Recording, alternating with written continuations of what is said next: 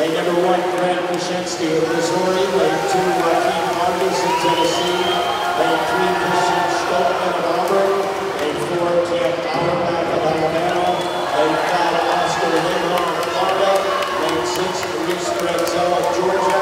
Lane seven, Colin Fox of Texas A&M. And in lane eight, Victor Roy of Kentucky.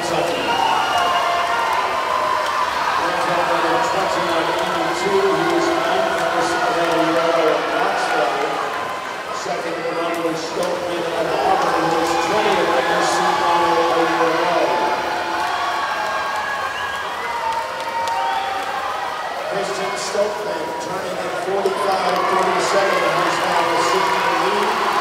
Winning the second round is the country.